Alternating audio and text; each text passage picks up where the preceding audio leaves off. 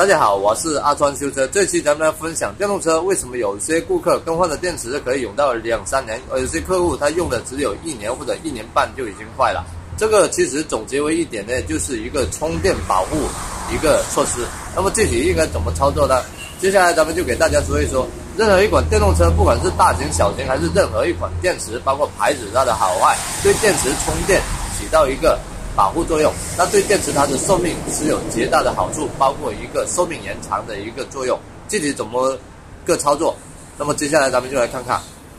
好，接下来咱们就来说一说电动车使用这个电池它的一个充电致命伤。呃，个人总结为三点，只要这三点呢，咱们一般可以避免，还有注意。那么这个电池它的寿命绝对可以起到最佳的这个效果，寿命延长。那么具体是哪三点呢？第一点，也就是说咱们使用的这个充电器它的型号匹配；第二点就是咱们来控制它这个充电时间。啊，那第三点呢，就是咱们所谓的这个充电器它的一个老化问题。首先，咱们先来说说第一点，每个电池它的电压有大有小，有三十六，有四十八，有呃六十，有七十二，有九十六，有更高这些电压。那么每一种电池呢，它有分十二安、二十安，包括更高高的这个容量。每个容量它匹配的这个充电器也是不同。咱们就以四十八伏二十安这个电池来为例，给大家讲一讲。那么如果是四十八伏二十安，它就由四个电池组成。咱们主要的这个标配型号的充电器就是要四八二零的，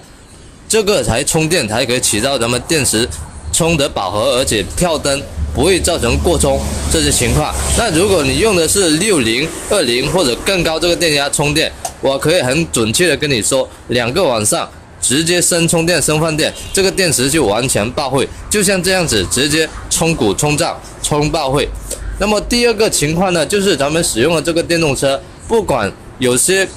客户啊，有些粉丝他是完全没有这个常识，咱们使用这个电动车电池，不管是有没有电。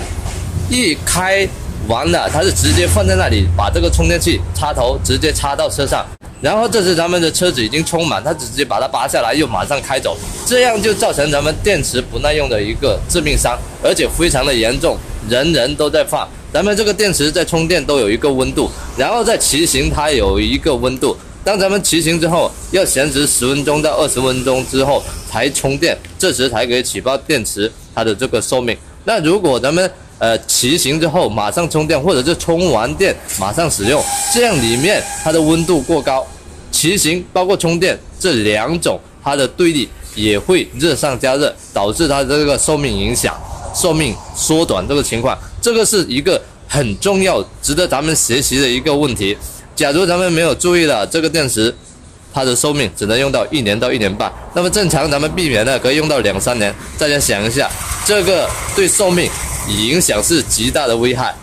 啊，第三点，也就是说，咱们使用的这个充电器，一般一个老化问题，正常咱们这个电动车随便都要开个三四年、四五年或者更久。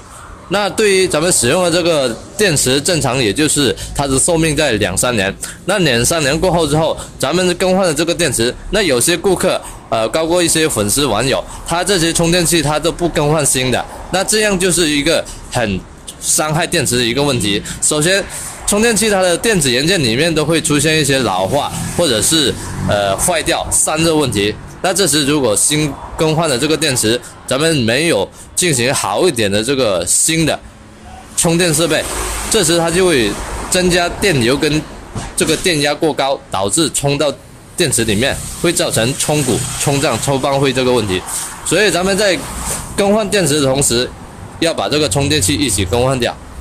这样才可以确保咱们电池耐用耐骑，而且它的寿命绝对有保障有保护。通过咱们这几点常识，在使用电动车呢，咱们这个电池随便用两三年或者三四年、四五年是绝对没问题的。相信大家对这三个知识啊，好多人一直是在犯的，而且是常常没有意识到。这个才会造成咱们电池损坏一个最大的因素，致命伤。大家需要切记。那通过咱们这几点呢，如果做到最好，咱们电池寿命也可以延长多一年到两年，而且投入的成本换电池也要减去一半这个价格。大家想象得到，电池是最贵的，而且它是有寿命，需要几年换一次。那如果咱们这样，如果它的这个措施做好了，咱们更换的电池几率也会比较低。